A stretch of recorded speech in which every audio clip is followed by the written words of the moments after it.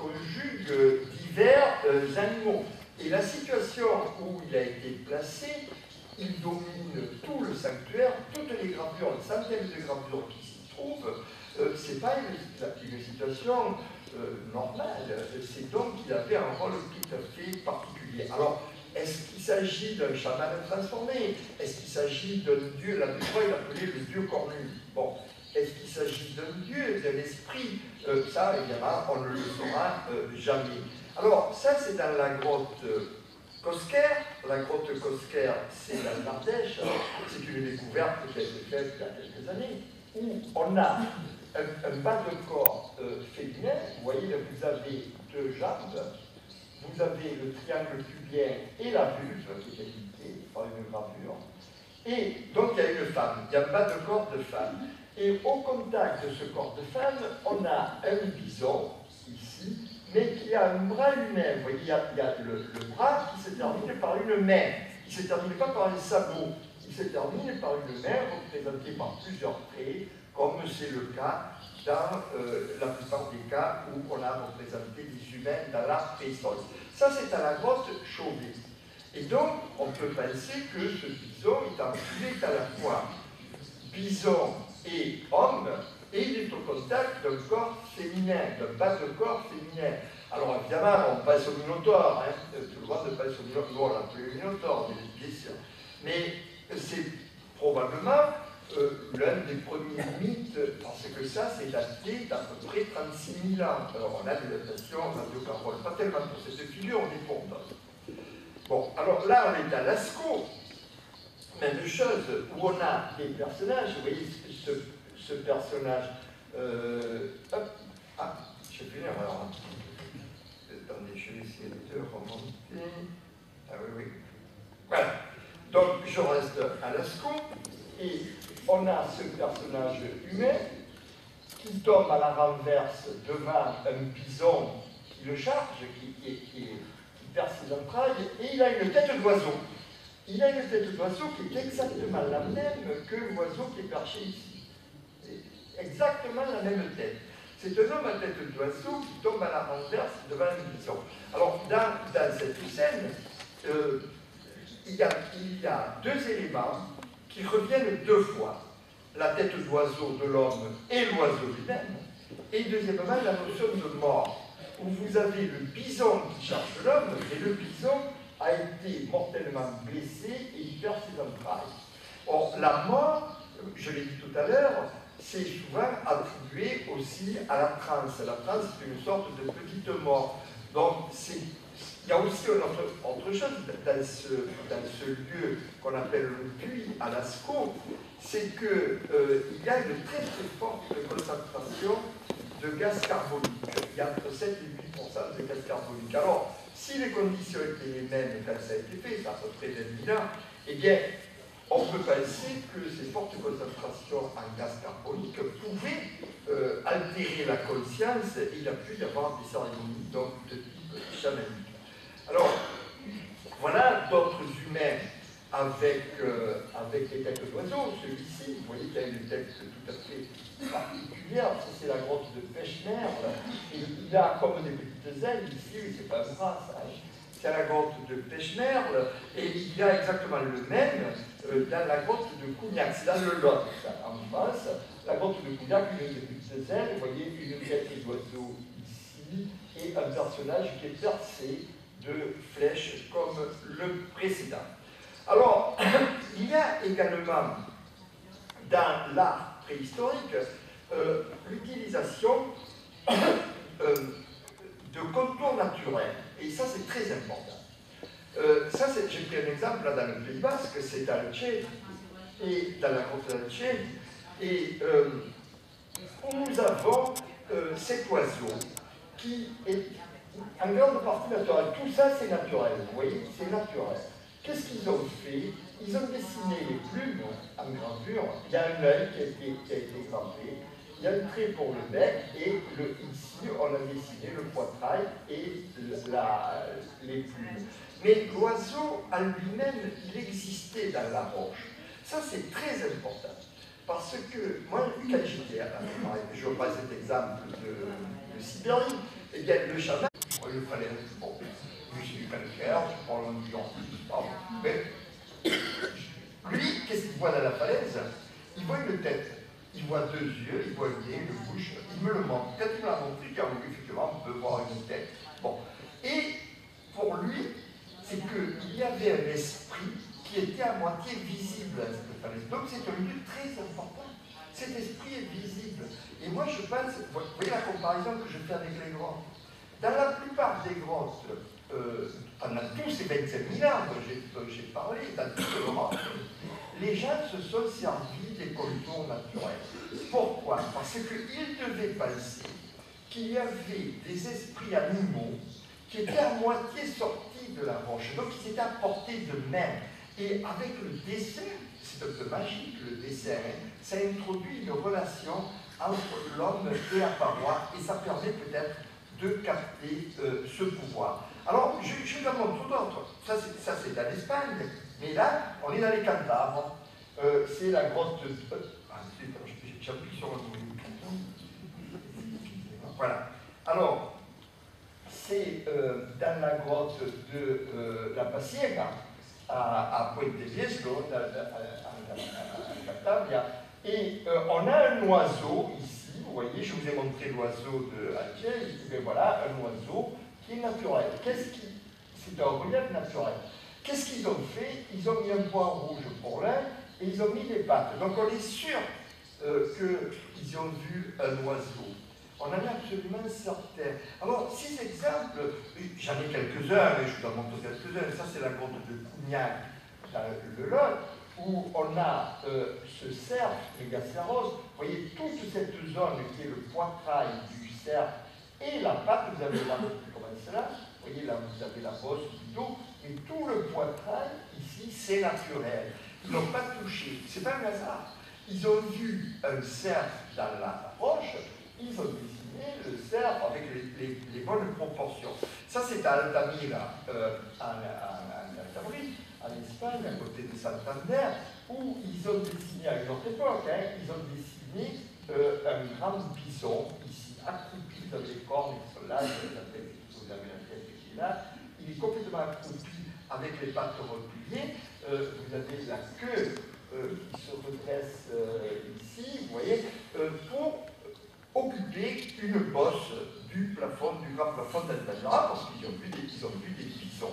Alors, toujours dans les Alexandra, vous voyez l'utilisation du contour naturel, cette figure fantomatique qui n'est pas très connue, la seule chose qui est artificielle, c'est la vie.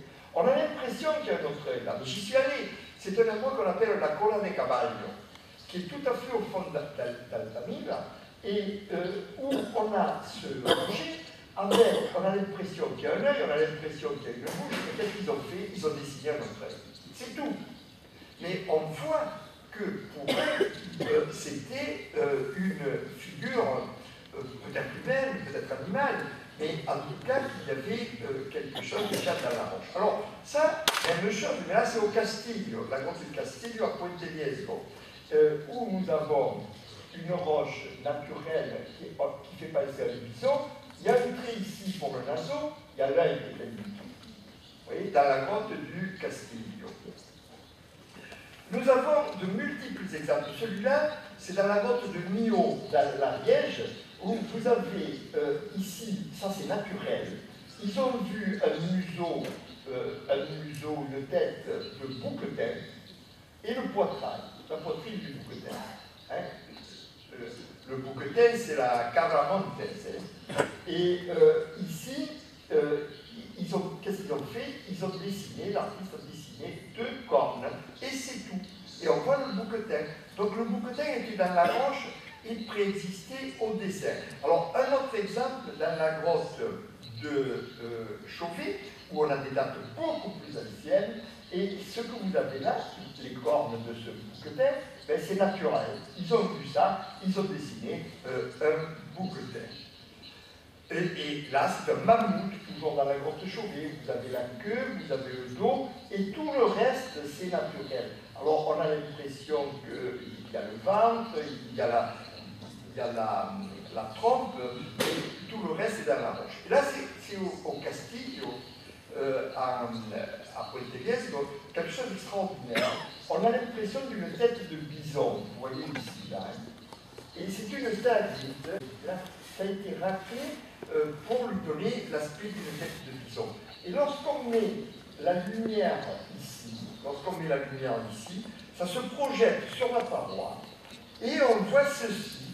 Et là, il y a deux barres qui tête ici, qui, ne vois pas sur la photo, mais il y a deux barres peintes, on ne savait pas ce que qui.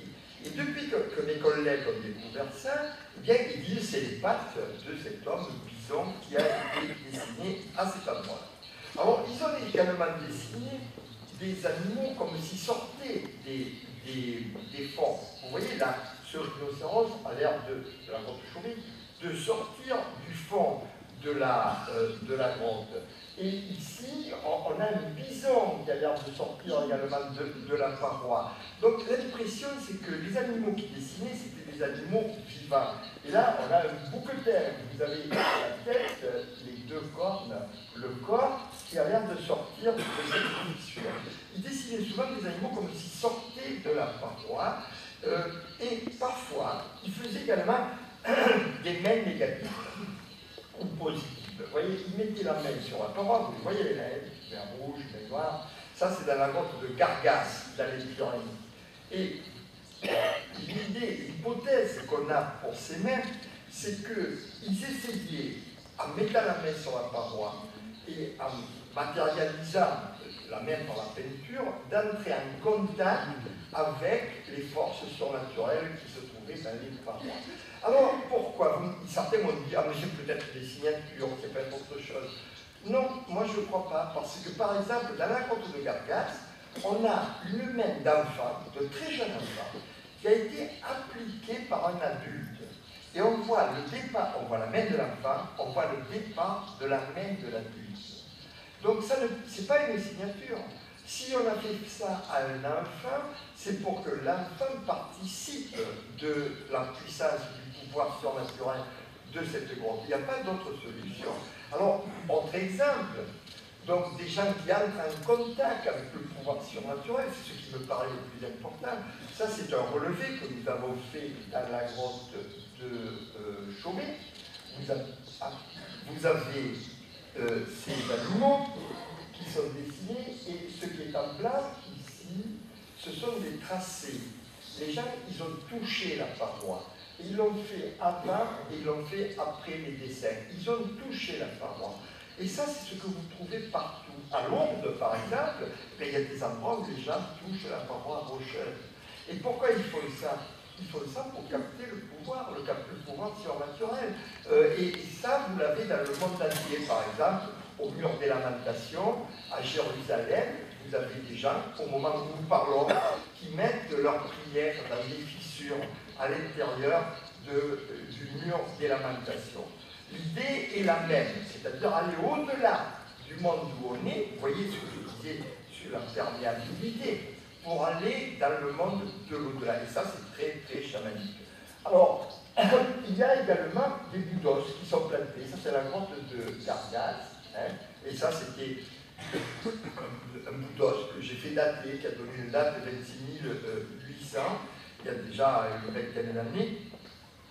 Et euh, on trouve ça dans à peu près 24 ou 25 grottes, y compris à l'historique.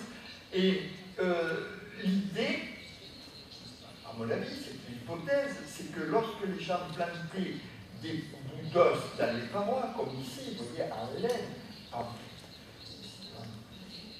comme ici, euh, j'ai les doigts trop gros pour le, pour, ça. Alors, ils ont planté des bouts d'os dans les ils ont peint ceci dans une grotte qui s'appelle Allen, en Ariège. Et euh, voilà, ça c'est dans la grotte de la Bastide, les Hautes-Pyrénées.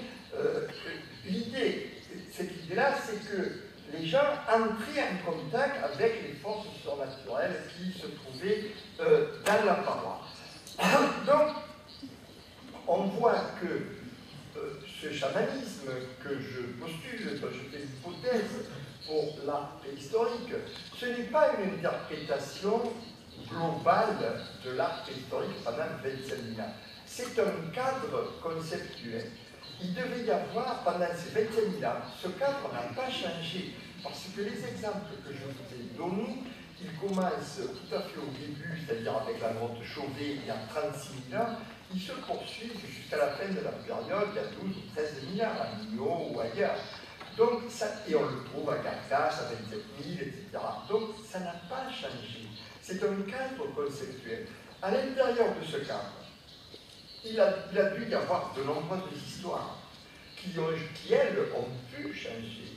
Et on constate, par exemple, que sur la côte cantabrique, euh, il y a, la photo, c'est un chaman sibérien qui chamanise, c'est-à-dire, vous voyez, il est en contact avec l'esprit, met sa main, il touche la paroi. Vous voyez les exemples Ça, c'est un exemple il y a quelques années, c'est pas Dieu, ça a 50, 4 ans, 5 ans.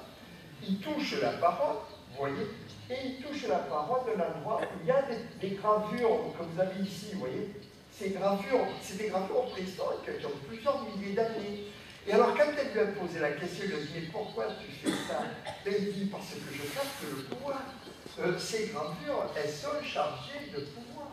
Donc, moi, je capte le pouvoir, et ce pouvoir, je m'en sers pour, par exemple, pour guérir les malades. Vous voyez comment ce geste de ce chaman actuel, euh, à travers lui, on peut faire des hypothèses sur ce qui s'est passé il y a 15 000 ans, 20 000 ans, 30 ans, parce que les gens à cette époque-là, c'était des gens exactement comme nous. Et c'était des gens qui partageaient, euh, qui partageaient la caractéristique essentielle de notre humanité, des hommes modernes, que j'appelle, qui est à mon avis la spiritualité. Ce n'est pas seulement le langage. Euh, les Néerlandais pouvaient très bien avoir un langage. C'est euh, la spiritualité, les Néerlandais ou, ou, même les hommes plus. Mais c'est la spiritualité. La spiritualité, c'est de se poser des questions. Ça fait homo, oui, mais sapiens. Sapiens, ça vient du latin, et ça a deux sens. Euh, sapientia, c'est la connaissance. Ben, les animaux ont beaucoup de connaissance aussi, mais là, la connaissance, et c'est deuxièmement, c'est la sagesse. Et on peut pas dire que notre espèce soit une espèce sage. C'est pourquoi, par contre, c'est une espèce qui a la spiritualité et qui crée de l'art. Donc, homo spiritualis artificium.